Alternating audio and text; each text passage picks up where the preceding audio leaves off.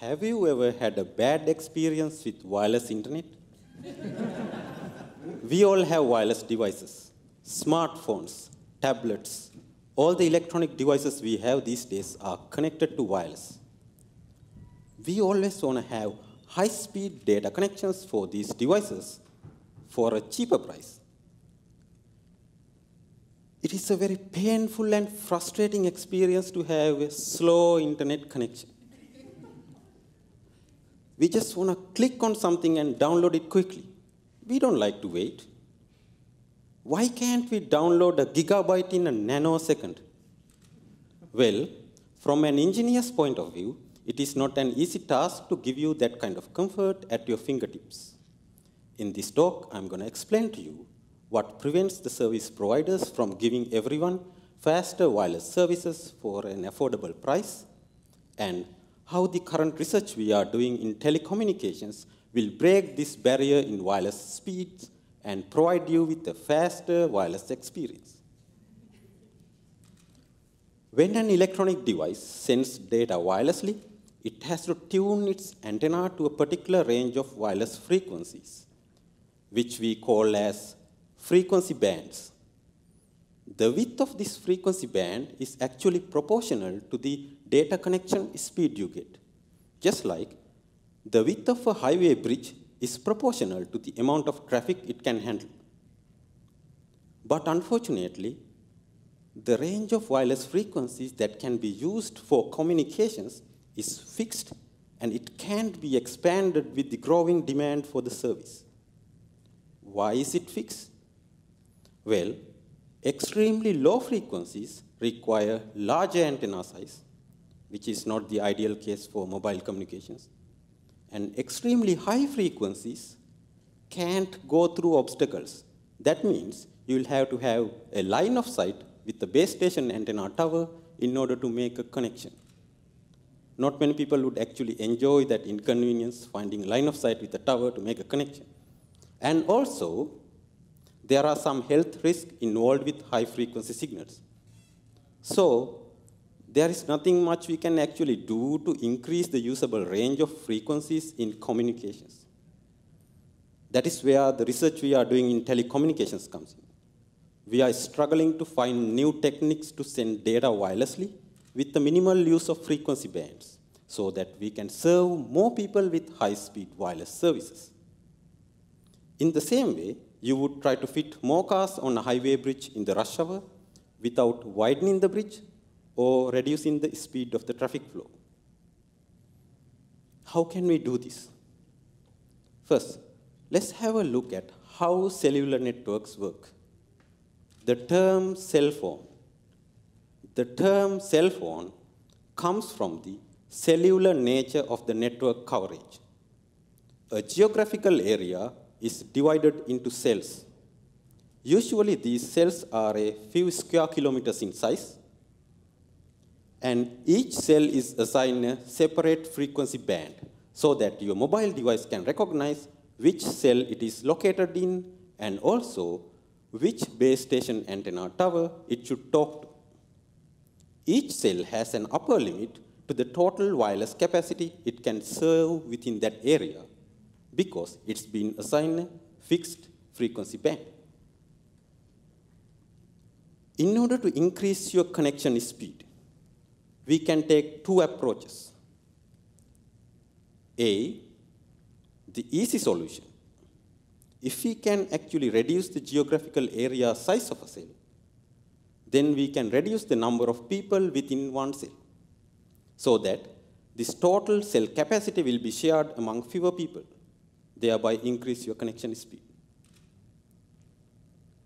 B, if we can actually increase the total cell capacity by efficiently using these limited frequencies, then we can increase your connection speed.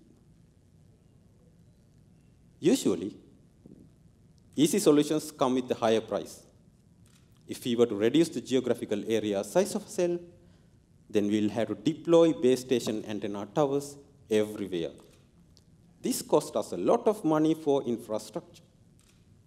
We are actually doing this to some extent in urban busy areas, but if we were to cover a larger land area Like, for example, here in Canada, we have a huge land area that needs to be covered. Having a smaller cell size is not always the best option. Let's look at option B. Can we actually use these frequencies more efficiently? When we observe the usage patterns of these wireless frequencies in wireless services, we discover a surprising fact. That is, even though there is a scarcity in these wireless frequency bands, actually these wireless frequencies are heavily underutilized. Why? The reason for this is the way these frequencies are being allocated to different companies. Let me explain this to you using the same traffic analogy. Imagine a traffic plan on a highway bridge where cars are allocated to each lane based on the make of your car. The first lane is only for Japanese made cars. And the second lane is only for American made cars. And the third lane is only for German cars. Now, you don't have to be an expert in traffic analysis to tell me that this traffic plan is not the best idea in the world. In fact, this kind of traffic plan can worsen your traffic situation. But unfortunately, this is exactly how these frequency bands are allocated in telecommunications.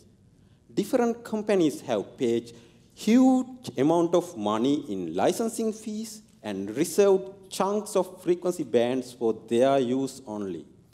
Only the subscribers under these companies can use these frequencies for wireless services. No one else can use it. Just like we all want to drive home quickly, regardless of what car model we drive, we all want to have high-speed wireless services, regardless of who licensed these frequencies. But telecommunications is a heavily regulated industry. You can't use other people's property without their consent. That's why we are trying to get the consent of these license users and do the following. Whenever these license users are not using the wireless service, we allow other people to use their frequencies. And every time they want to use their service, we give way to them and give them the priority. In that way, we won't be interrupting them at all. But we will be increasing the wireless frequency band utilization significantly and increase the overall cellular network capacity. To do this, we need to sense when these licensed users are using the service. To do sensing, we need sensors. We need sensors geographically distributed locations. We need geographically distributed sensors with some computer processing power. Where can we find this kind of geographically distributed computers with wireless access? Well, it is in your pocket. That smartphone in your pocket has more processing power than the computers used in the rocket that sent a man to the moon. What are we doing with this tremendous amount of processing power that we carry in our pocket everywhere we go? Well, we play Angry Birds, Flappy Birds, and take pictures of our food and post on social media, and watch cat videos on YouTube, and occasionally we make phone calls too. But still, there is a lot of processing power left that we don't use all the time. What if we can ask these smartphones to use their little bit of their processing power and sense when these license users are using the service and report to a central location and build a cognitive wireless network so that we can serve more people with high-speed wireless services. Speaking of traffic, we do another thing to increase the traffic problem. Carpooling.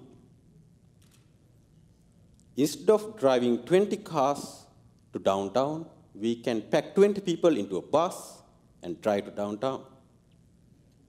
We do the same thing in telecommunications. we use special mathematical coding techniques to pack these data messages going through wireless medium and reduce the number of frequency bands required for the communication. If you look at this whole technology, this would be like coordinating the drivers in the rush hour and encourage carpooling so that everyone made it home on time without bottlenecking. So how this technology will benefit you? With this technology, we are going into a new paradigm in telecommunications that will break a barrier in wireless speeds and provide you with a faster, smoother, and happier wireless experience. Thank you.